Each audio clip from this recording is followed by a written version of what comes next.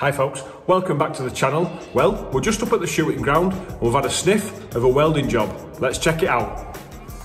Just in a facility called the pipe range here.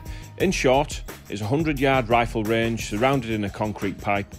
Using it eliminates wind errors and of course noise and ricochet risks for bystanders as well.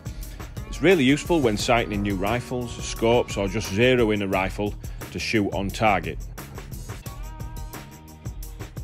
So what's the issue? Well, the pipe extends into the bank underground with the paper targets placed at 100 yards. But what if you only want to shoot at 50 yards, for example? It cannot be done at present since there is no access halfway down the pipe. So what's the solution? Well, if we fabricate a trolley or some sort of vehicle what can travel down the pipe and stop at 50 yards with a target on the back, then we can happily shoot at 50 yards, no problems. Now let's crack on and get it welded up.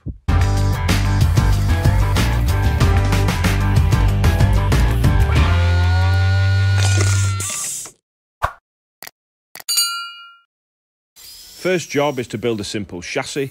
We're going to use Unistrut channel here. This will give us some flexibility down the line when component pieces have been shot to bits when it's been in the pipe. New component bits can be fabricated and then bolted back straight onto the chassis, meaning we don't have to replace the whole thing when it gets a bit tired. Now I'm just marking up some holes to be drilled here. The reason for these holes will become clear shortly.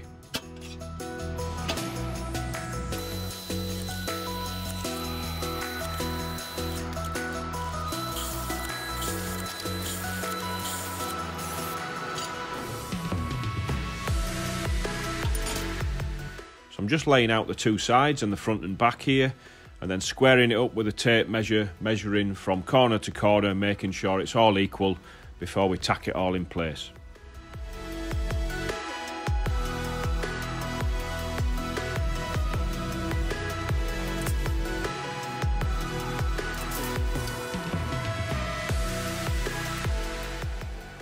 Now the Unistrut channel is actually galvanised and I've cleaned all that off first before I've attempted to weld it because it will cause, uh, cause big problems if I didn't.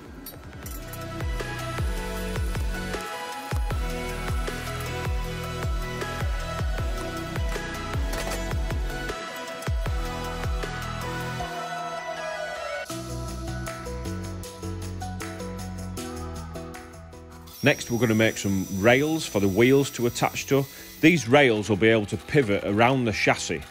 This will mean the wheels will have full face contact with the sides of the concrete pipe itself. This is important for stability but also to keep the trolley in line with the pipe as it's been pulled up and down it.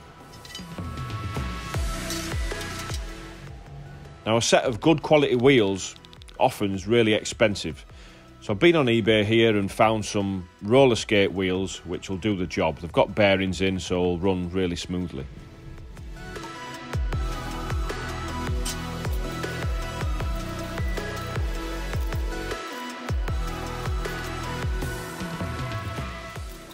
So the wheels have been attached to the angle iron rails that were fabricated. These rails will now get attached to the chassis using the holes that we drilled earlier. Now this fit is a bit tighter than what I would have wanted, but um, it's better tight than uh, being too loose and the wheels flopping everywhere. So quite happy with this actually.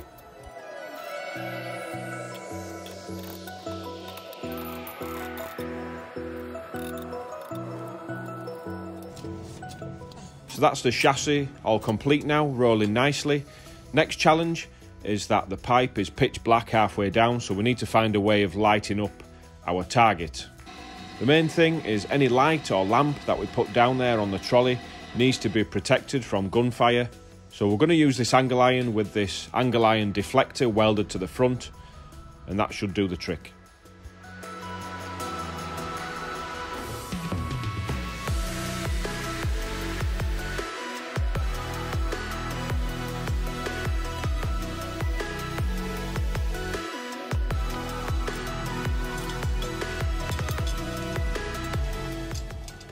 So that just bolts onto the front of the chassis here, easily replaced if it gets damaged. Of course, a light or lamp needs a battery, and the battery is going to need some protection too. So we're going to use this offcut of 100mm by 100mm box section to do that. So I'm just marking up this box section for some holes. The holes are for a stuffing gland where the cable will break out the battery compartment and also a little switch as well so we can switch the light on and off.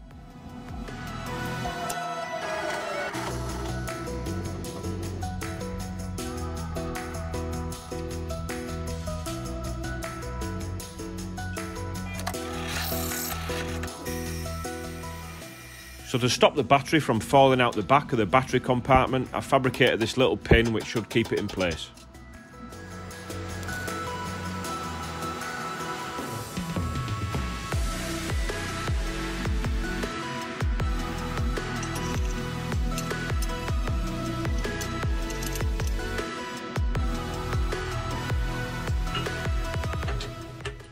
Now we're going to mount the battery compartment onto the chassis now. We're going to use some angle iron for that and we're going to offset the angle iron by 20 millimeters and we're going to use these fireball shims for this. Great bit of kit these are, lovely.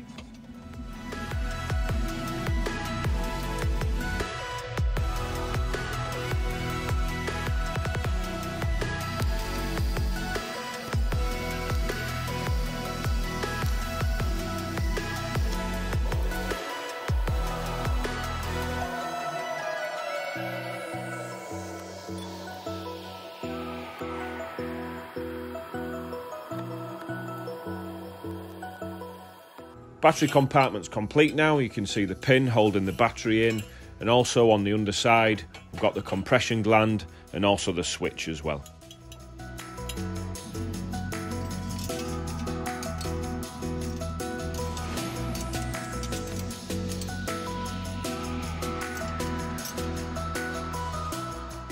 Final job is to fabricate the target holder. Now we're going to make this the same size as the targets that we're going to use and we're going to make it out of heavy steel as well because it's going to take a bit of a batter in this piece.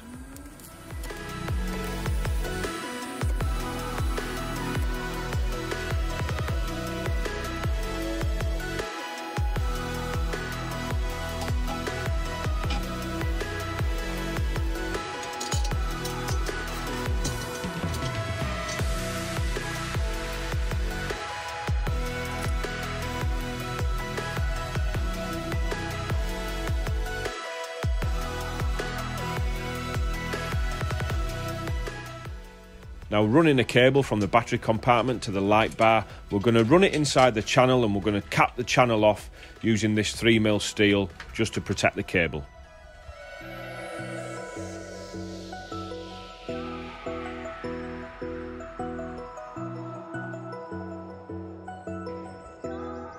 So we're all complete there folks, let's get it in the pipe and give it a try.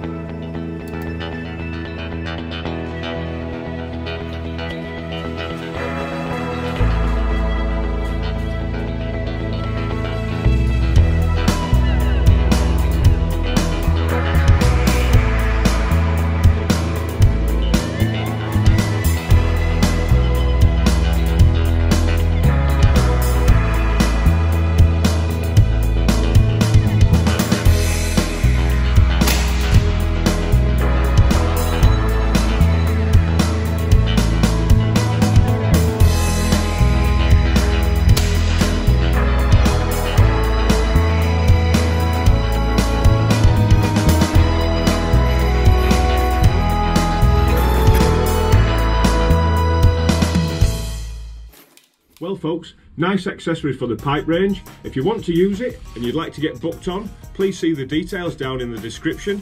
Please check out some of my other videos that I've done in collaboration with the Shooting Ground. As always, like the video if you did, subscribe if you haven't already, and I'll see you in the next video.